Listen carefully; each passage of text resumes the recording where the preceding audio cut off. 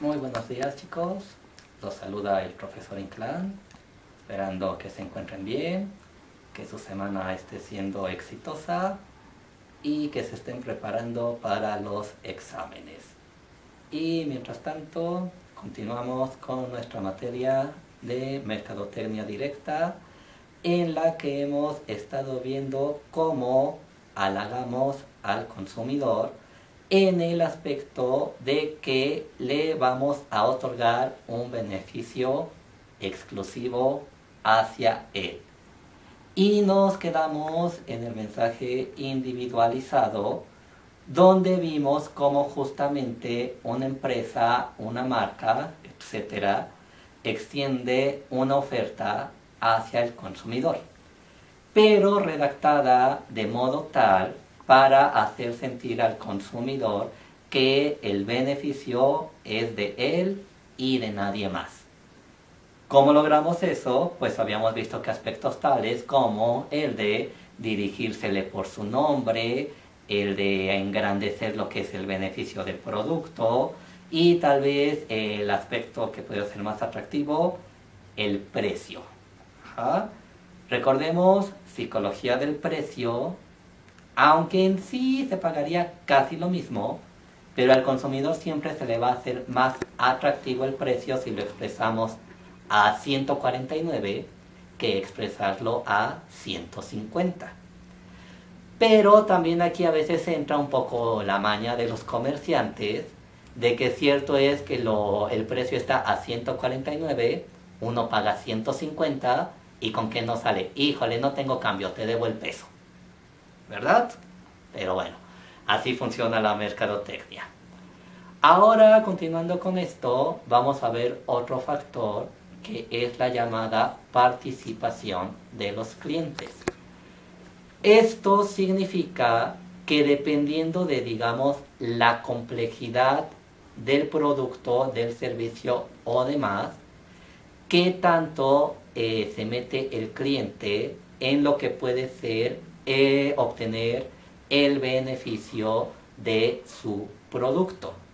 Como tenemos aquí, nos dice que tenemos la participación baja en la que casi casi es dando y dando. El cliente llega, pide tal producto, está disponible, el cliente está decidido a comprarlo, se limita a pagar. Y ya posteriormente el cliente disfrutará de su producto. En caso de que el cliente no le dé el uso adecuado al producto, pues ya será cosa de él. Pero básicamente esto es la participación baja. Llego, pido, pago, disfruto. ¿Ok? Posteriormente tendríamos la participación media o moderada, donde a diferencia de la baja necesitamos que, bueno, necesitamos un poquito más de información por parte del cliente. Eh, un ejemplo, un celular. Si nosotros compramos un celular, a diferencia de un kilo de tortillas que es llego, me da un kilo de tortillas, pago, me voy, en lo que es la compra del celular se puede decir que nos retienen un poquito más. Debido al hecho de que primero yo voy a ver, voy a pedir que me muestren el celular, a lo mejor que me demuestren que tiene las funciones que yo quiero y otros cuantos aspectos. Eso por el lado del cliente. Pero por el lado de la empresa, todo celular que se vende tiene que quedar registrado a un nombre.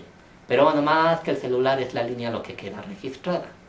Entonces les piden algo de información personal, tal como que su nombre, su dirección, algunas referencias, etcétera, etcétera. No sé si sea su caso, pero honestamente no me extrañaría que aunque ustedes usen un teléfono celular al que se le asignó cierto número, realmente la línea esté registrada a tal vez nombre de su papá, nombre de su mamá, nombre de su hermana, etcétera, etcétera. Ajá. De igual manera, aquí entra en cuestión lo que puede hacer garantía. Si nosotros compramos un celular, pues vamos a pedir que tenga garantía. ¿Por qué? Como comúnmente decimos, si llega a tronar, pues que de alguna manera se nos respalde. Pero recuerden que la garantía, dos aspectos. El primero es que la garantía tiene cierto tiempo de vigencia, el cual se establece en el mismo documento. Y otro, no sé si lo hayan leído, si no pónganse a leer, pero básicamente toda garantía tiene una cláusula que dice algo así. Hablando un poco metafóricamente, porque no dice como tal, pero el dicho es el siguiente. En caso de meterle mano negra al aparato, esta garantía queda invalidada. ¿Me explicó? Bueno. ¿A qué me refiero con lo de mano negra?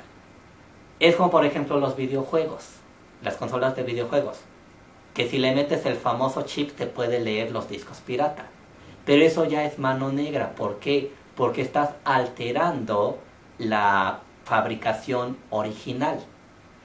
Y vamos a verlo de esta manera. Ustedes compran su consola de videojuego hoy, tienen garantía de un año, mañana le ponen el chip y pasado mañana tronó, ya no valida, ya no aplica su garantía. espero que de esa manera haya quedado más claro.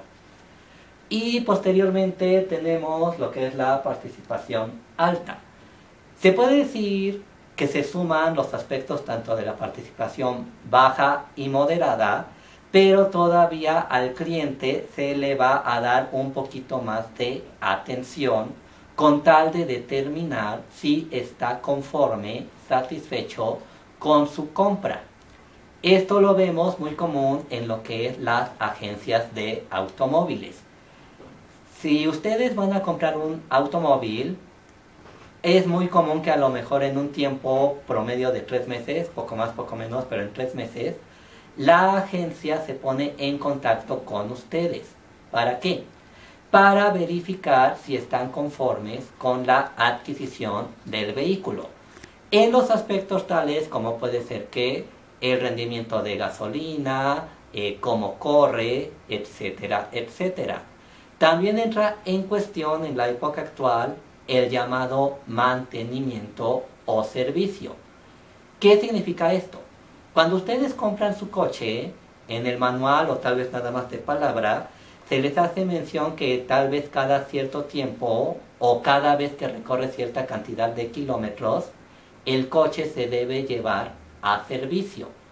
Es decir, que se le va a dar una revisión para verificar que qué, que los cilindros, el motor, filtros de aire, eh, líquidos de frenos, etcétera, etcétera, se encuentren en buen estado de funcionalidad.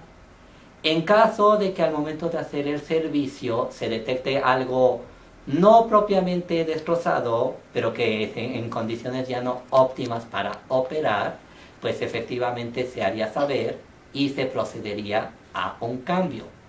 Algo que también pudiera hacerse notar después del servicio, un detallito X que realmente no afecta la funcionalidad del coche, pero sería recomendable atenderlo a la brevedad posible.